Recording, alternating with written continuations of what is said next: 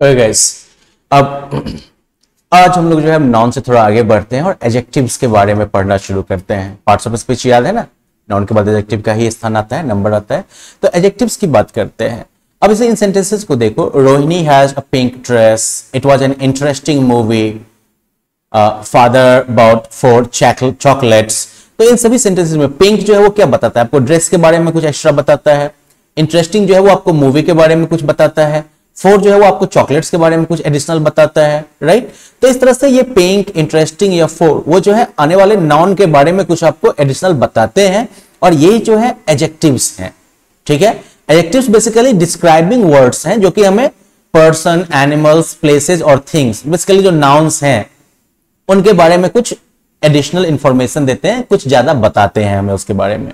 अब नॉर्मली जो एजेक्टिव्स होते हैं, वो ठीक नाउन के पहले आते हैं जैसे कि he is an old man यहाँ पर पहले ओल्ड एजेक्टिव आ गया, फिर जो है मैन जिस नॉन को ये क्वालिफाई कर रहा है, वो नॉन आया। लेकिन कभी कभी जो है एजेक्टिव नॉन के बाद भी आ सकता है, जैसे कि द मैन इज़ ओल्ड तो यहाँ पर मैन जो है नॉन है, और वो पहले आ गया, और इसको क्वालिफाई करने वाला एजेक्टिव जो है ओल्ड ये बाद में आया है। तो खैर चलिए, अभी आपको सबसे पहले क्या करना है, यहाँ पर वीडियो को पॉज करना है, और इस, इन सेंटेंसेस में जो है एजेक्टिव्स को जो है अंडरलाइन करना है और जिस नाउन को वो डिस्क्राइब करते हैं उसको जो है आपको सर्कल uh, करना है। जैसे कि the woman is happy to get back the purse यहाँ पर देखो नाउन एक्चुअली दो है। वुमन भी है और पर्स भी है। लेकिन ये हैप्पी जो है वो आपका एजेक्टिव हो गया और ये डिस्क्राइब किसको कर रहा है? तो ये जो है वुमन को डिस्क्राइब कर रहा है right it is describing the woman the man is carrying a heavy box यहाँ पर हेवी जो है वो एजेक्टिव है and it is describing the noun box तो आप वीडियो को पॉज करिएगा और रिमेनिंग सेंटेंसेस में भी जो है, इसी तरह से आप जो है एजेक्टिव को अंडरलाइन करिएगा और जिस नाउन को वो डिस्क्राइब कर रहे हैं, उसे आप सर्कल कर दीजिएगा। ओके ग्रेट चलिए अब एजेक्टिव को तो आप मोटा मोटी पहचान गए राइट अब आगे हम लोग जो है एजेक्टिव के टाइप्स के बारे में बात करते हैं। एजेक्टिव्स के जो है ओवरऑल यहाँ पर सिक्स टाइप्स दिए हुए हैं। Adjectives of quality quantity number demonstrative adjectives interrogative adjectives and then possessive objectives ठीक है? एजेक्टिव ऑफ़ क्वालिटी जो कि ऑफ़ कोर्स किसी नॉन के काइंड के बारे में बताता है कि कैसा है वो। क्वांटिटी वाला हो गया तो वो आपको नॉन के क्वांटिटी के बारे में बताएगा, और नंबर वाला हो गया तो फिर वो नंबर बताएगा नॉन का। डेमोन्स्ट्रेटिव जो है वो पॉइंट आउट करता है नाउन को, है ना? जैसे this that those this it वगैरह सब, ये डेमोन्स्ट्रेटिव एजेक्टिव्स हो जाते हैं। इंटरोगेटिव एजेक्टिव जो है वो क्वेश्चन पूछने के सेंस में यूज़ होते हैं और पॉजिटिव एजेक्टिव जो है वो पोजिशन दिखाने के केस में। अब सबसे पहले हम लोग जो है एजेक्टिव ऑफ़ क्वालिटी से शुरू करते हैं। तो जैसे कि this is a story book Mitu is a good dancer तो यहाँ पर जो this is a story book जब आप कहते हो तो यहाँ पर स्टोरी जो है वो क्या बताता है कि किस तरीके की बुक है ये? गुड डांसर वो बताता है कि किस तरीके की डांसर है वो। गुड की जगह पर क्लासिकल आता हिप हॉप आता तो भी बराबर बात थी। तो यहाँ पर जो है स्टोरी और गुड ये एजेक्टिव्स हैं जो कि हमें जो है बुक और डांसर के बारे में बताते हैं और स्टोरी जो है वो हमें बताता है किस तरीके की बुक है, किस काइंड की बुक है ये। गुड जो है वो भी हमें बताता है किस तरह की डांसर मितु है। तो ये जो है एजेक्टिव्स ऑफ़ क्वालिटी हो गए। एजेक्टिव ऑफ़ क्वालिटी जो है वो हमें बताता है कि जो नेचर या जो टाइप है किसी पर्सन का थिंग का या एनिमल का, वो बताता है हमें।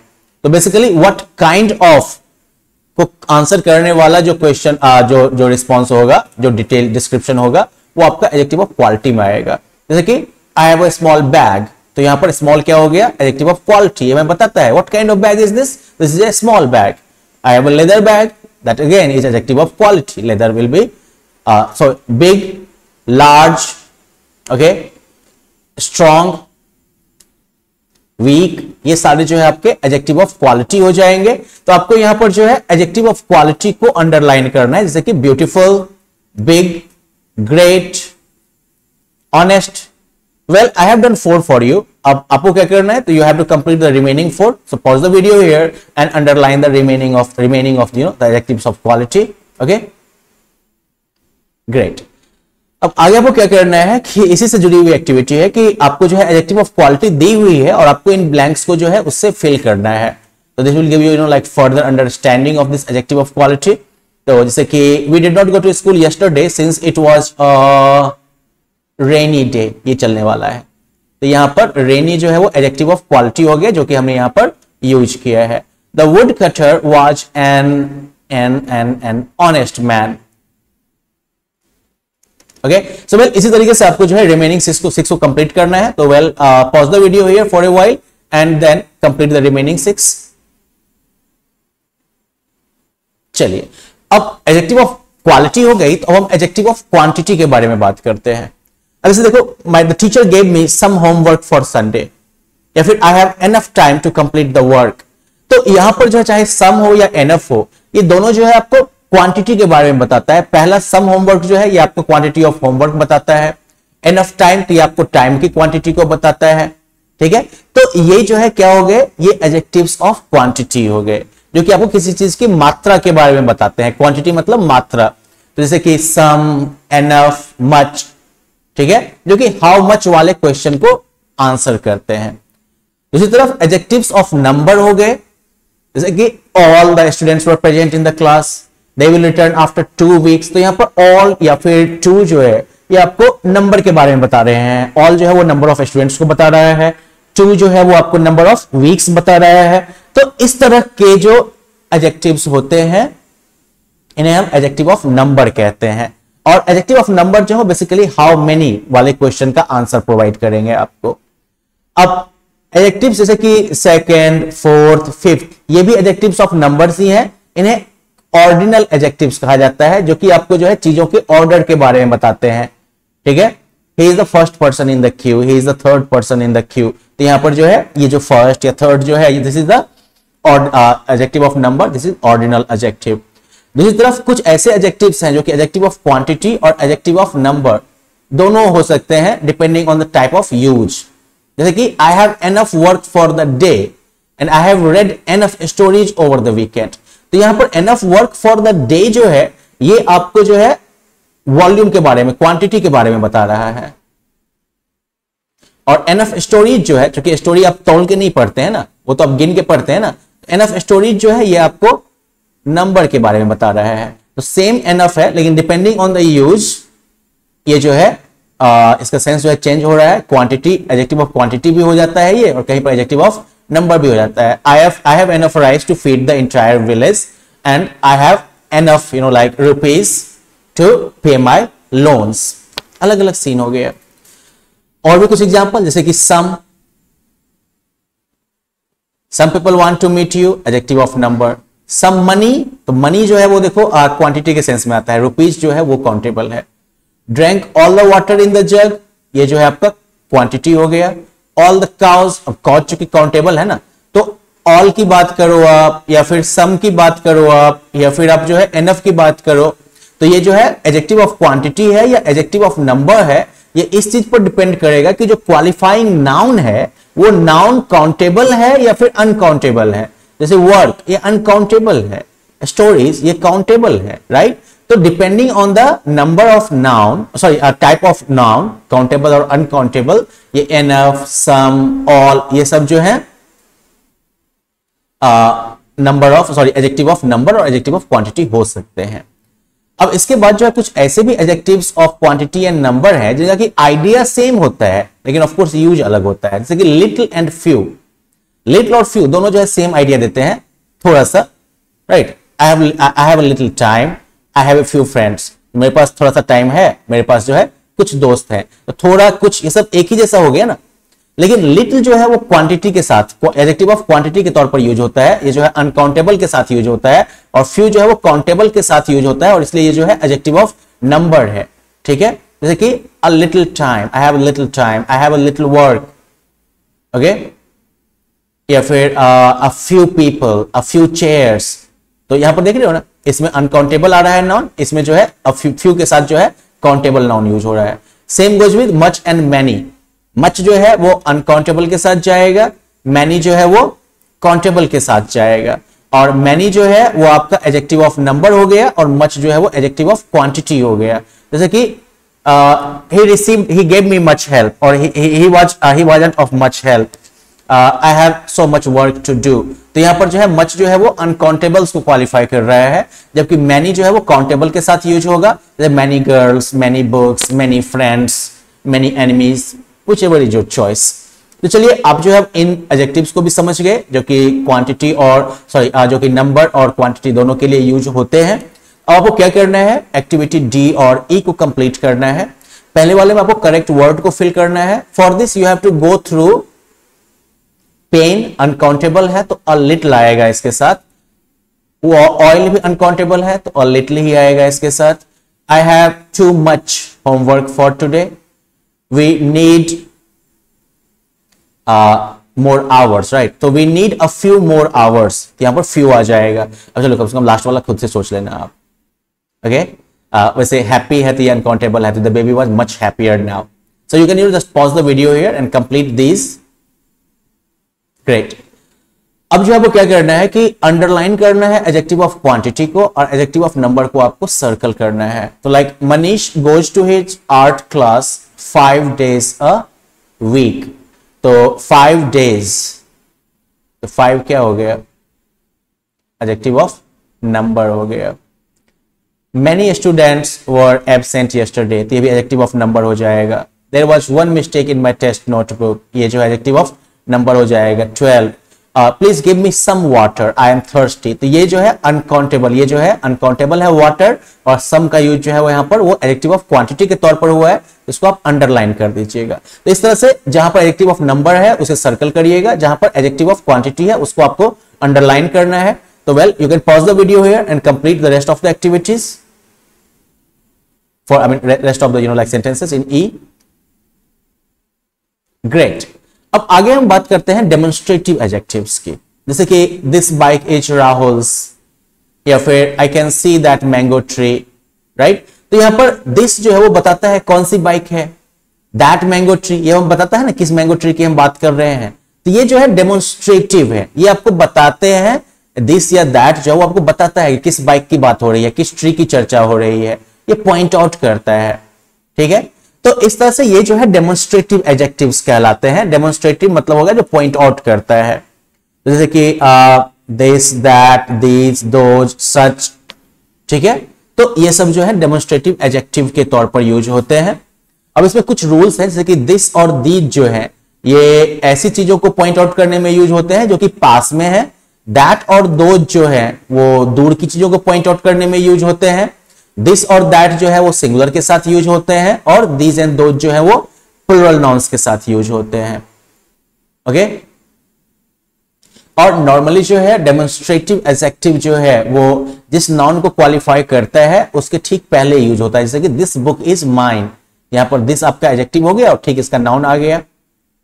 Okay this is my book यहाँ पर लेकिन क्या है कि आपका पहले जो है डेमोन्स्ट्रेटिव प्रोनाउन आ गया, फिर आपका वर्ब आ गया, फिर जो है नाउन आया। इस तरह से ये इमीडिएटली जो है क्वालिफाइंग नाउन के साथ जो है यूज़ होगा या फिर उससे थोड़ा अलग भी हट सकता है। खैर, चलिए, आपको यहाँ पर क्या करना है? कि डेमोन्स्ट्रेटिव एजेक्टिव्स को अंडरलाइन करना है। जैसे कि who gave you this book तो दिस जो है वो डेमोन्स्ट्रेटिव एजेक्टिव हो गया। तो you can pause the video and complete the remaining of the sentences और underline the demonstrative adjectives in the remaining sentences great अब आगे आपको क्या करना है कि यहाँ पर जो वर्ड्स दिए हैं प्रिंटेड में, इनको प्लूरल फॉर्म में चेंज करना है। जैसे कि दैट है दैट पेन है ना? तो रोहन वांट्स दोज पेन्स तो दैट का प्लूरल दोज हो जाता है और पेन का प्लूरल तो एस लग गया लास्ट में। तो वैसे ही आपके जो है, जो रिमेनिंग सेंटेंसेस हैं ओके okay? उनको जो है आपको प्लूरल फॉर्म में चेंज करना है। जैसे सच अ ब्यूटीफुल पिक्चर तो इसका प्लूरल हो जाएगा सच ब्यूटीफुल पिक्चर्स ओके तो चलिए, आप इसको जो है चेंज करिएगा। तो पॉज करिए वीडियो को और पूरा कर लीजिए फिर फटाफट। ग्रेट अब एच वाले में आपको क्या करना है कि जो बोल्ड में जो प्रिंटेड हैं वर्ड्स इनको सिंगुलर फॉर्म में चेंज करना है। तो जैसे कि पहले वाला मैं आपको करके दिखाता हूँ, बाकी आप कर लीजिएगा। आई वांट दोज का सिंगुलर होता है दैट क्योंकि दैट का प्लूरल हो गया ना दोज तो I want that bangle okay तो इस तरह से आप जो है रिमेनिंग जो है इनको आप पूरा कर लीजिएगा। और उसके बाद जो है आ, ये जो सेंटेंसेस हैं ब्लैंक्स जो है इनमें आप जो है अप्रोप्रिएट जो ऑप्शन हैं वो फिल करिएगा। मेनली आपको जो है सिंगुलर प्लूरल को कंसिडर करना है। ठीक है, जैसे कि this garden is so lovely क्योंकि इज़ का यूज़ हुआ है और गार्डन सिंगुलर फॉर्म में है तो इसलिए यहाँ पर सिंगुलर फॉर्म आएगा। Boys study in my class तो यहाँ पर जो है प्लूरल बॉयज़ जो है प्लूरल है तो इसलिए इसके साथ क्या आएगा? दैट नहीं आएगा दोज आएगा। तो वेल रिमेनिंग थ्री को आप पूरा कर लीजिएगा। तो पॉज करिए वीडियो को, फटाफट पूरा कर लीजिए आप। ग्रेट अब आगे बात करते हैं हम इंटरोगेटिव एजेक्टिव्स की। जैसे कि what animal is that whose books are you reading which dress do you want तो यहाँ पर जो है व्हाट हुज और विच जो है ये एजेक्टिव्स है क्योंकि वो किसी न किसी एनिमल बुक या ड्रेस को रिस्पेक्टिवली डिस्क्राइब कर रहे हैं, लेकिन साथ साथ वो क्वेश्चन पूछ रहे हैं। और चूँकि वो क्वेश्चन पूछ रहे हैं, इसलिए इन्हें इंटरोगेटिव एजेक्टिव्स कहते हैं। तो व्हाट हुज विच ये सब जो है आपके इंटरोगेटिव एजेक्टिव्स के एग्जाम्पल्स हो गए। दूसरी तरफ़ पॉजिटिव एजेक्टिव्स की बात करो अगर तो ये जो है, जैसे कि इन सेंटेंस को देखो my book is lying on the table तो यहाँ पर माई क्या बताता है? किसकी बुक है ये? दे सोल्ड देयर हाउस यहाँ पर देयर क्या बताता है कि किसका घर है ये? तो इस तरह से जो है माई या देयर ये एजेक्टिव्स हैं जो कि आपको रिस्पेक्टिवली जो है हाउस का या फिर बुक का जो है ऑनरशिप बताते हैं पजेशन बताते हैं। तो इस तरह के एजेक्टिव जो कि पजेशन या बिलोंगिंग को डिस्क्राइब करते हैं, उन्हें हम पजेसिव एजेक्टिव्स कहते हैं। ओके तो जो कि हुज वाले क्वेश्चंस को आंसर करेंगे तो हिज हर आवर योर ये सब जो है पजेसिव में आ जाएगा। अब यहाँ पर आपको क्या करना है कि इंटरोगेटिव एजेक्टिव को जो है अंडरलाइन करना है और पजेसिव एजेक्टिव जो है, उन्हें जो है आपको सर्कल करना है।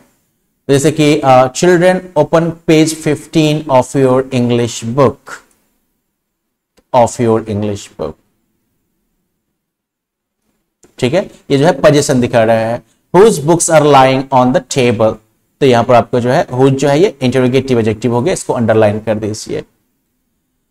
अब फाइनली जो है you have got big exercise at the end और यहाँ पर क्या करना है तो आपको जो है इस पूरे के पूरे पूरी पूरी स्टोरी को आपको पढ़ना है और इसमें जो एजेक्टिव्स हैं, उनको आपको जो है पिक करना है और उनका टाइप बताना है। तो इसके लिए आपको नोटबुक का यूज़ करना होगा। ठीक है? जैसे कि वन डे टू मर्चेंट्स तो टू जो है वो एजेक्टिव हो गया adjective of number Ram and Shyam came to the magnificent adjective हो गया कोर्ट ऑफ़ अकबर। तो एक जो है ये ये जो है आपका एजेक्टिव ऑफ़ नंबर हो गया, ये एजेक्टिव ऑफ़ क्वालिटी हो गया एजेक्टिव ऑफ़ पोजीशन हो गया। तो इस तरीके से जो है your Ram set your majesty तो एजेक्टिव ऑफ़ पोजीशन तो इस तरह से जो है आपको कंटिन्यू करना है, सभी एजेक्टिव्स को जो है अंडरलाइन करके जो है नोटबुक में लिख लेना है और कौन सा एजेक्टिव टाइप है, ये आपको बताना है। ठीक है? It is going to take lot of time so you can if you want you can pause the video here and complete it or you can complete this video and then go through this activity all right अब यहाँ पर जो है आपके पास adjectives हैं I mean आपको जो है आ, कुछ डिस्क्रिप्शन दिया हुआ है और इसके इसी डिस्क्रिप्शन को इंडिकेट करने वाला बताने वाला जो एजेक्टिव होगा वो इधर आपको डालना है जैसे कि फुल ऑफ़ हैप्पीनेस तो क्या हो गया हैप्पी फुल ऑफ़ कलर तो कलरफुल तो इस तरह से जो है आ, इसको पूरा करिएगा। और इसी के साथ जो है कहानी पूरी होती है एजेक्टिव्स के। आगे जो है वो हम एजेक्टिव्स में जो है डिग्री ऑफ़ कंपैरिजन की बात करेंगे जो मज़ेदार होगा वो। तो मिलते हैं अगले लेसन के साथ। Bye bye